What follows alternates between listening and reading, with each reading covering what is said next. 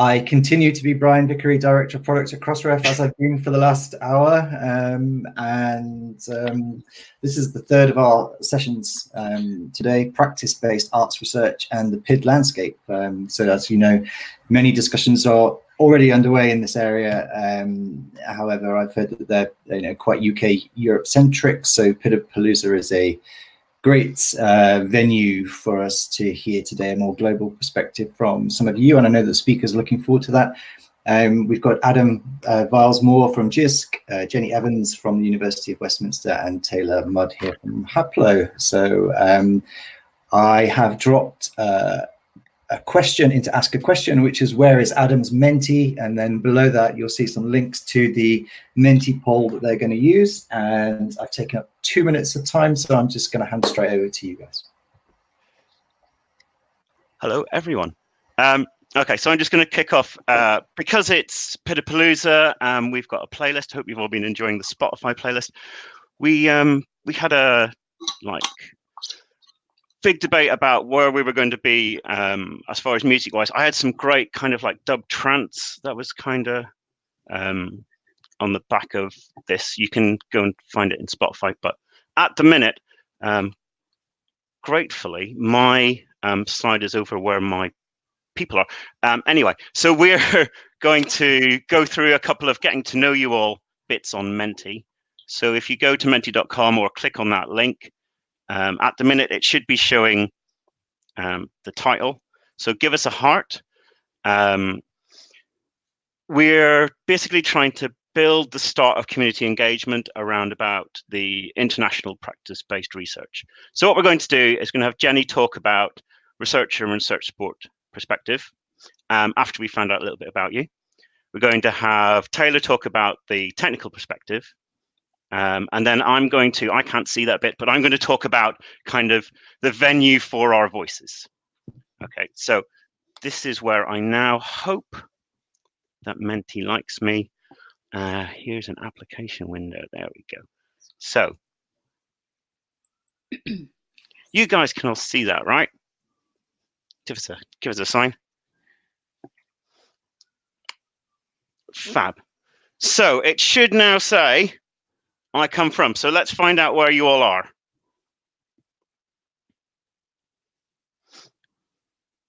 Bryan, can you switch the, thanks.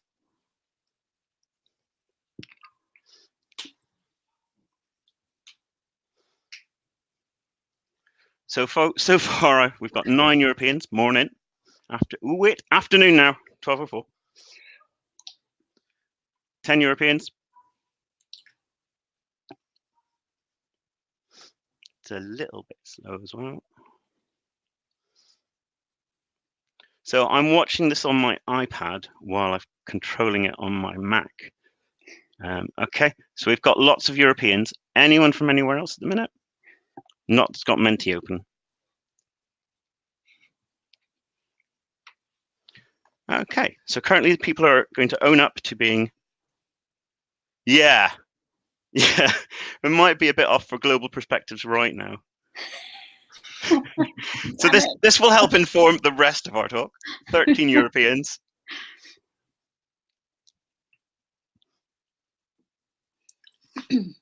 okay. Hello, Europeans. Well, I think what we're going to say is we've got some Europeans here. It's been a it's been a long old it's been a long old thing. Right. Go to the next slide. Where are you all? Oh.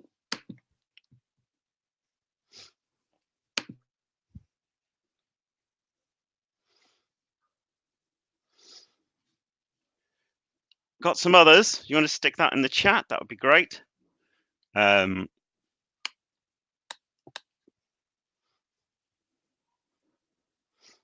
given the session, um, I'm imagining there'll be three or four BLs.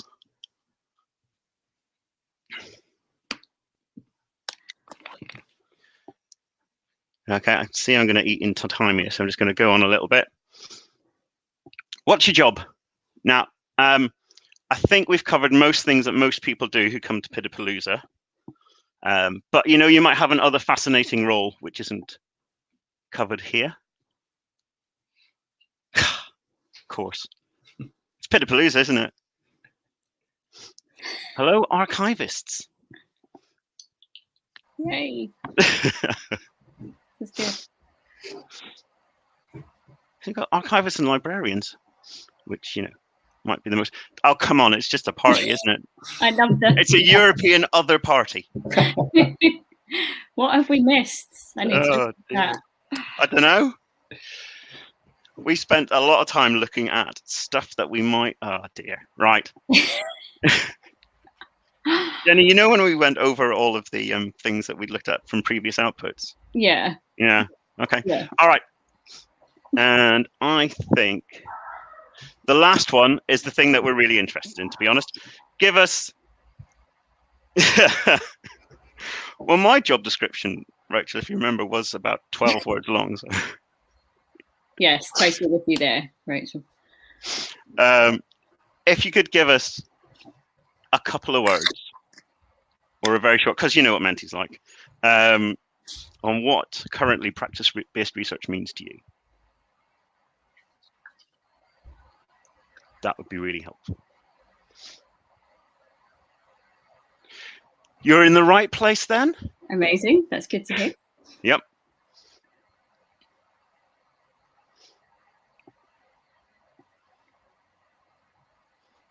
Remember, there's no such thing as a wrong answer. Um, never said my maths teacher.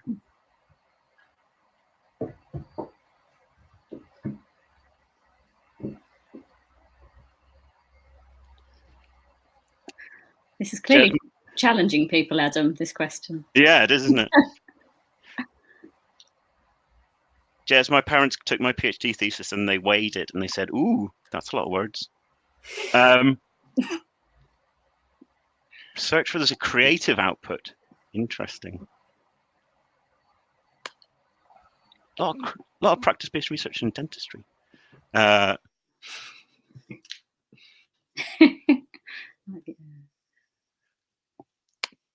okay. Um, right. Eight minutes past. Ah, user experience. Thank you so much. That looks like, is that enough for you to work with, Jenny? Uh, yes, no, no, and absolutely. And I think I can, I'll pick up a few of those elements um, in my presentation. Um, so great. Thank you all for your inputs. I think um, I'm very aware we've, we've, we've been in a lot of conversations across the UK over the last couple of years and some more international, but we really do want to, um, to broaden out this discussion. Uh, but we're getting to Europe at least today, so we're we're moving slightly beyond the UK. Although I'm sure we have quite a few UK uh, participants here today. So, oh, I'm just apologies. I'm gone through my entire presentation in the space of a few minutes. Okay, so you've all got my slides up, aren't you? It's just I've got two windows going on, so I can't see any of the chat at the moment. So, um, Bryan, can you switch the focus back to? That's it. Perfect. Yeah, Thank great. Thank you. So do um, interject uh, if I miss a question uh, that someone wants to answer or wants to ask. So, practice-based arts research. I've gone way too far. So, what I'm actually going to start with is two things. So, first of all, just to point out, I do completely understand, as do we all, that practice-based research goes beyond the arts. Uh, so, I know I'm very aware that it goes on in education and in in health uh, and in other areas. So, this kind of conversation today is really focused on their arts uh, and architecture research, although we're not discounting those other areas. And there may be useful input from people today uh, that's relevant uh, to more than the arts. Uh, I'm picking up from the university perspective. Uh, the University of Westminster is based in London. Uh, we cover a broad range of disciplines. I think that's really important um, because often arts researchers may work in a specialist arts institution, so they're in, in a slightly different place, although we have kind of common challenges. Uh, so I'm going to start with a definition from our uh, research lead in our Centre for Research and Education in the Arts and Media, uh, Neil White. Uh, he's a professor of arts and science, so he comes from very interesting backgrounds. Uh, he contributed to a panel session we ran at Open Repositories uh, almost two years ago. So whether it's practice-based, practice-led, artistic research, research is research. Whatever method, data, it's the processes that underpin the practice uh, that it's the data you're working with and the documentation we're thinking about. And for me, I think practice-based research in the arts and, and other is is really about bringing together what we talk about uh, in the sector around not only open access but also research data management uh, at the same time. So I think key elements uh, of of this research are that it's dynamic and it's a changing body of work. So it's not often simply about publishing uh, a single journal article. Uh, these are also unique outputs. I think that's something we all care quite a lot about. Uh, they're not necessarily captured elsewhere. So if we don't capture this research, how do we look after it and preserve it and maintain access to it? Uh, intellectual property rights and copyright uh, are a huge challenge. It's not always possible to make uh, or share an entire output. Uh, an artist or a photographer might sell images um, of their work, which is part of their livelihoods. Uh, a film might be owned by a recording or a film studio, for example. So, so it's it. I guess we have to be a little bit pragmatic about how open we can make this research. Um, I find it very interesting being responsible for University Open Access Press as well. Um, and having worked in the past with uh, a very science-based institution is, is how different the conversation is around open access, open research, um, and and the creative arts because it is it is very different. I think then they're just in a very different place, but also there might be a different end, end goal uh, for this group. So what did we do at Westminster? We had the opportunity to develop a new repository uh, using the Haplo repository software. Uh, and we kind of found out of quite a few things in the process of developing this repository. Uh, that actually repository software, understandably, focused uh, traditionally on uh, text-based research outputs and data. Uh, and I think it's worth mentioning that often those are put in two different places. So they might be in an outputs repository or a data repository. Uh, and as a consequence, they're different communities uh, kind of supporting this research, which for practice researchers is problematic because really their research is, is a real combination of, of outputs and data. Uh, as a consequence, the community haven't seen their research reflected in the landscape. Uh, this was the case at Westminster, but I know it wasn't. It's not only a Westminster issue.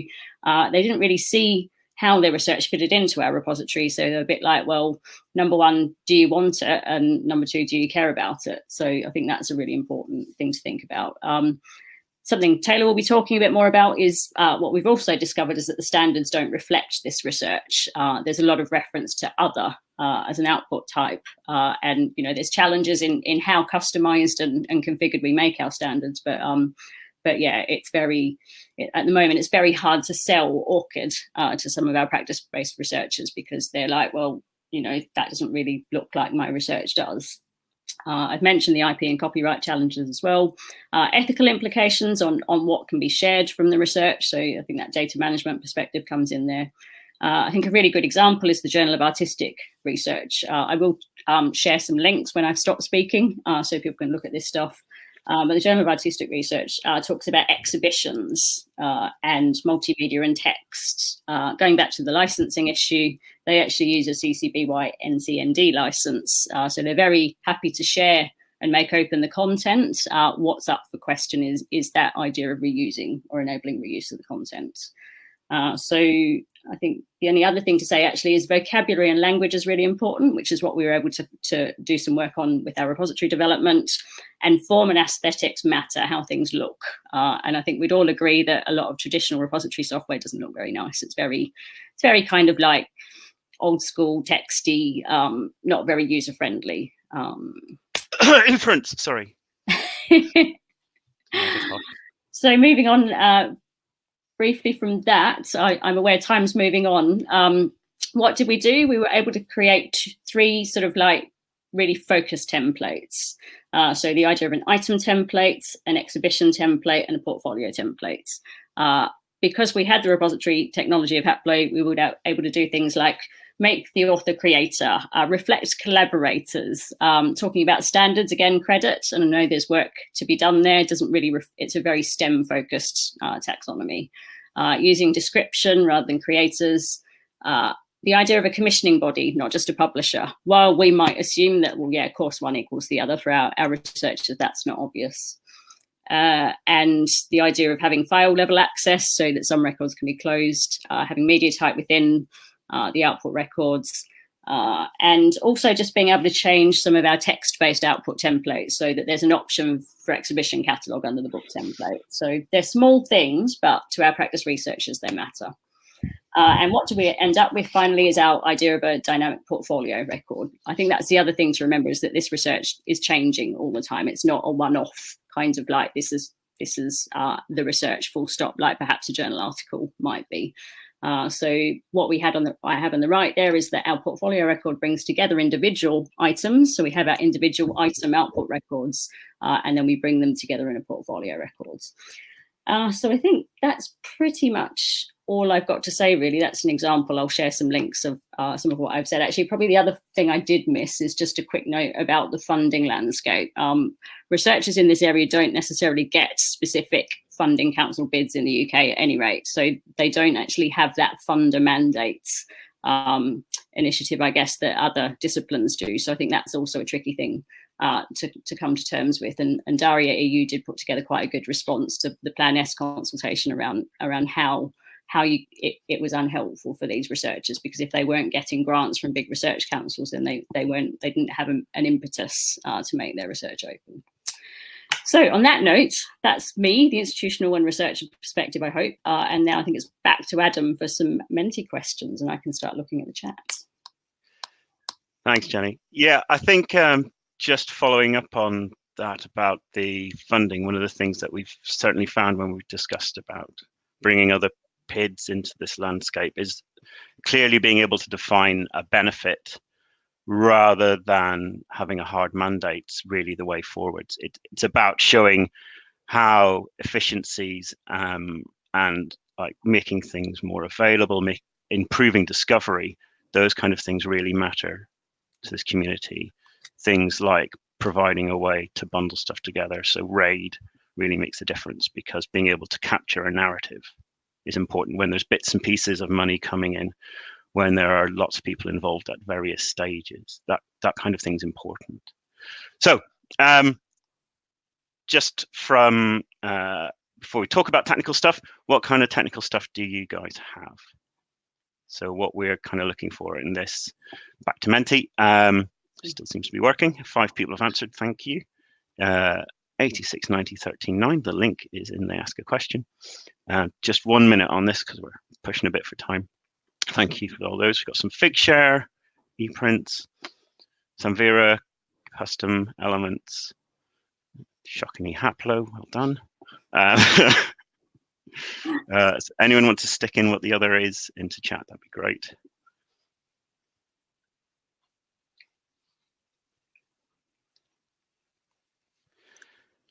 I don't think I've seen a lot of Jupyter um, in practice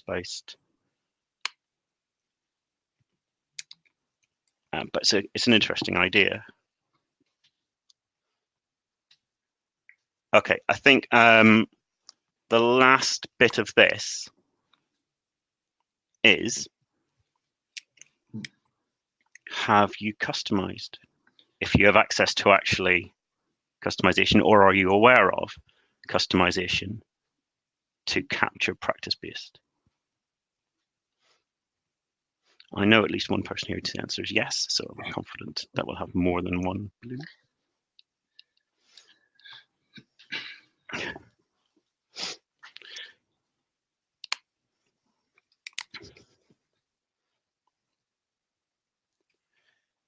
Okay, I'll give it a second to catch up.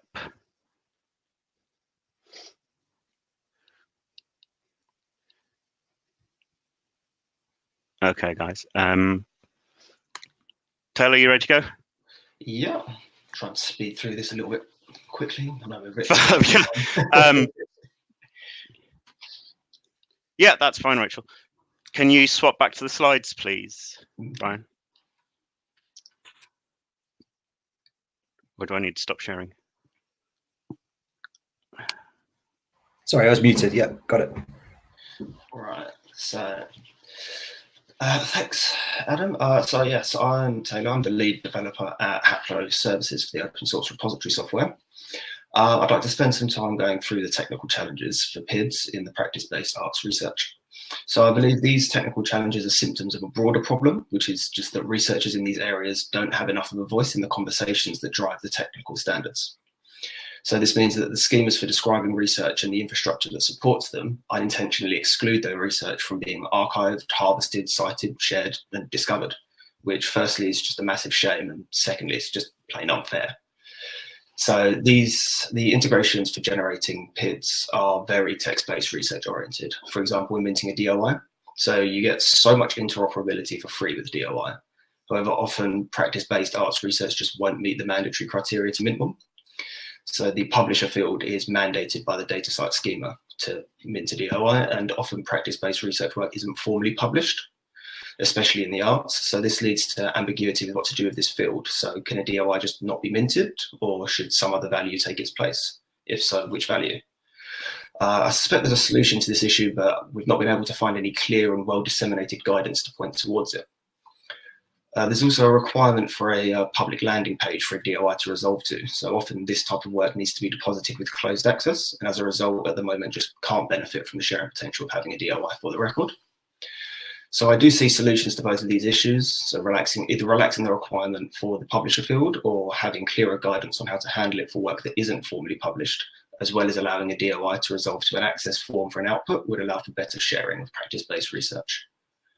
Um, I'm just going to touch on one second point, Jen, if you split, flip to the next slide, sorry. So there has been some conflation between the terms the output and single file across multiple schemas. Since practice-based research is more likely to be made up of multiple files, this confusion hinders interoperability. So for example, this quote here is out of the RIOXX schema specification, and it states that the key points out of this are that the resource refers to the electronic copy of a publication and that it's it's sorry the electronic copy of a publication that's the main point i'm get, getting to here. So what if the item isn't a publication or there are multiple files which make up the overall research? So for example an exhibition which consists of multiple images or videos. So again there's no clear guidance on the best way to handle that within the RIOXX schema. So if there's no way to include it in the schema, it won't make it to other repositories. And if it won't make it to other repositories, it won't be visible in the world. And at that point, does it even really count? So I believe there's probably a running theme with these issues whereby there's likely a correct and valid way to handle them. However, there's no clear guidance to that effect. Now, I did have one more point about credit, but I know we're pressed for time. So I think I'll just hand over to Adam and I'm happy to answer any questions about that in the Slack afterwards. Hello, thank you very much. Um, okay, so the last two bits on the Menti are basically what PIDs have you heard of before? Because I know it's PIDapalooza, but we'd expected to have quite a mixed audience of practice-based researchers and people who, um, who are doing PIDs. So I'm going to guess that quite a few people have heard of everything on this slide. So I'm going to give you all a second to look at this. I'm going to share my screen again, um, but I've got like one second left. Uh, so uh, there's me and there's my thing. Um, Can we have the Menti up again? Yeah, that's what I'm doing. That's what I'm doing. Sorry, guys. Here we go. Right, so you should be able to see that, Bryan. Can you just bring that to the four? So um, while it's coming up, I'll just quickly make the point that Taylor was going to make. One of the issues that we have with practice-based research and, and other things like that, and something that we talked about at the ORCID UK meeting in last summer was other. So we get a lot of work coming through as other, and I know that um, DataCite's been working on this in their vocabulary, and we had a chat about this as well. Um, and that's something that we really need to start looking at is about better ways of having taxonomies of describing work in general and what we actually get on this stuff, right? Um, so yeah, not surprisingly, um, things are thing, but ORCIDs and ISSNs and DOIs seem to be the thing. Less on org IDs. I'm really pleased that like project IDs and RAIDs are so high um, in this audience. Um, but I would be really interested in um, this last one. What persistent identifiers do you use or issue? And while um, we're talking about that and filling that one in, I will just quickly do my slides as well. So what I wanted to talk about is the way that we move forwards with a way to have a community around practice-based research and look at some of the issues that we've been discussing in this session. Um, where we look at where the venues already exist, um, where we look at starting to form our own space and how we go about that. So let's have one last look at this. Uh, DOIs, yep. ORCIDs, yep. Some RORs, ISSNs. Again, if you want to start letting me know what others are in the chat or in Slack afterwards, that's great. No one's using a RAID. Lots of people heard of them. No one's using them. That chimes somewhat because there's no Aussies here, are there? It chimes somewhat. Well, no Aussies uh, based in the in. Yeah. no one, no one, in, no Aussies in Menti anyway. Okay, can you can you whack the slides up for one last minute, please, Bryan? Yeah. Okay. So, cheers. So, so what do we do? Um, okay. It, let me just grab it. So, we need to make um, practice-based research and especially kind of the artsy things more visible. Um, we've got stuff like this uh, taxonomy of author contribution. Credit, credit's great, but it's really STEMmy, just from where it came from.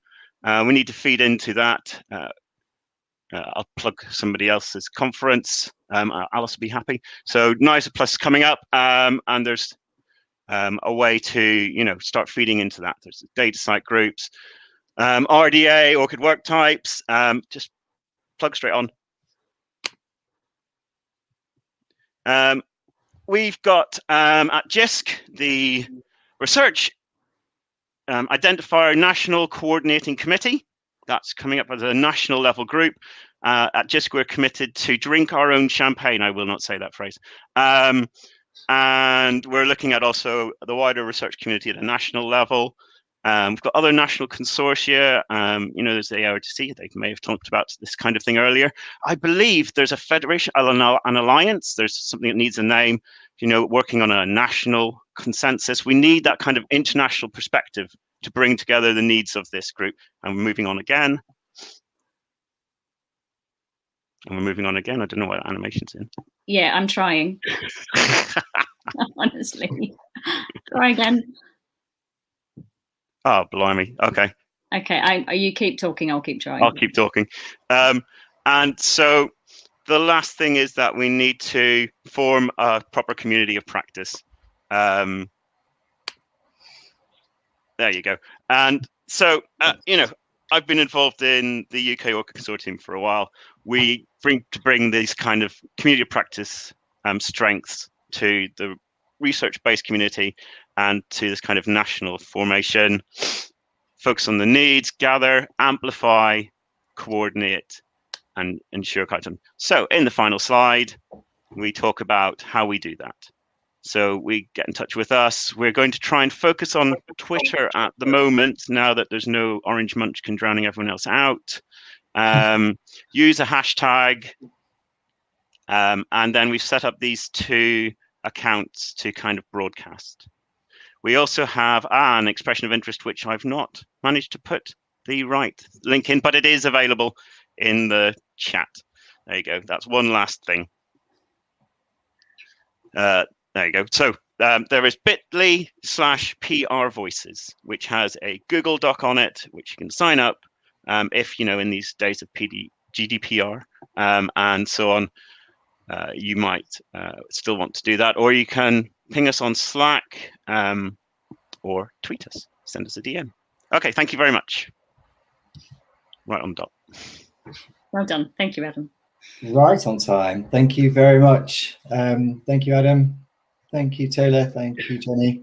That was um, really interesting to to hear about that work. Um, we are right up against time, and I know that some people want to go to some of the sessions. Um, so thank you for your. Oh, everyone's gone. It's just us. wow, they that was great. Literally legged it, so it's just. Um, it must be an automatic thing. I can't believe I left that bitly off the slide. I just, I just can't believe I couldn't get in. like, like, yeah, although I guess we're still recording the session until I press the button. I was going to ask a question about dynamic portfolio records. Um, yeah. It, in the journal publishing world, which I came from, um, you know, having a version of record which had a citable DOI was kind of sacrosanct, right? And um, so, in the world where oh yeah, they did get kicked out. Um, in a world where the the record can be dynamic, um, what do you do about citability of that um, that item?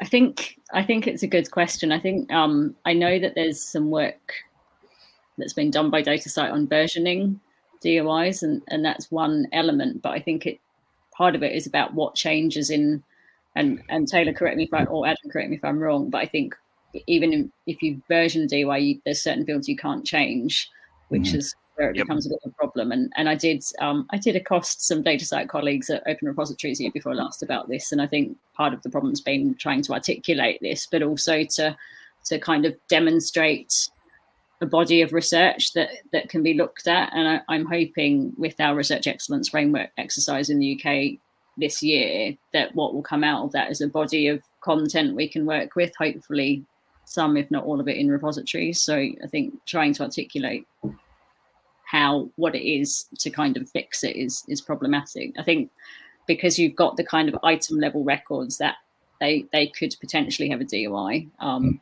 But yeah, it's that how you how you maintain integrity while recognizing that for this community it needs to be um, that that is dynamism dynamism not quite sure what the word is but that dynamic element is um yeah is, is really important. And yeah and how how do we make them up? Because the danger in the uk is that you, we've got a practice research community or some of the community who are who are now asking for different sets of like they've talked about their own web of arts and and the problem is, uh, is which and I agree completely Adam that's that's my reaction too but, but they're still mentioning it because they they think they want something different but equivalent to what the, the STEM subjects have. So so it's about how do we how do we we get them on board that actually we don't need to create all new things. We just need to work with what we've got. And and as Taylor sort of mentioned, um, update documentation and make it clearer. Um, but and one, the other thing I didn't mention too is that we had a session at Repository Fringe a couple of years ago where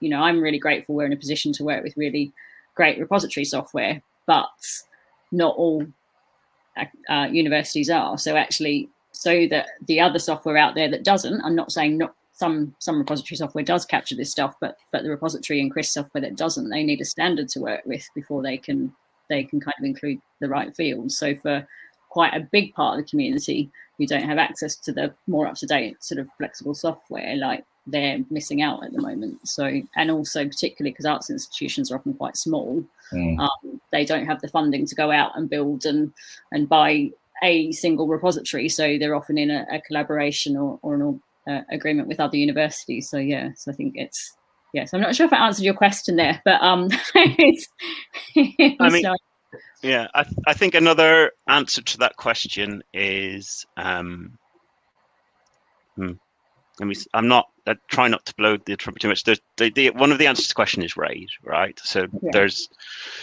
there's the project as um, a whole, as a bucket for these things, right? And so that's a persistent identifier to the thing that is the narrative for the stuff that is going on that is dynamic and changing and underneath it all.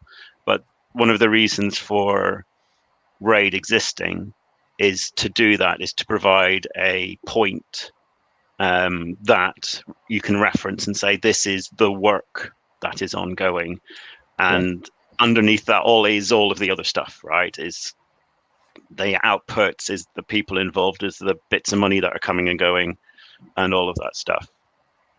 So the project as a whole is identifiable by the RAID and then everything underneath that. Yeah, yeah, yeah, yeah. Yeah. Great. Um, uh, formally, because we're still on video, I will thank the speakers today for uh, for their contribution. thank you, Adam. Thank you, Taylor. Thank you, Jenny.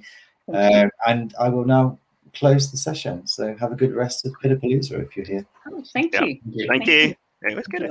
Bye. Bye.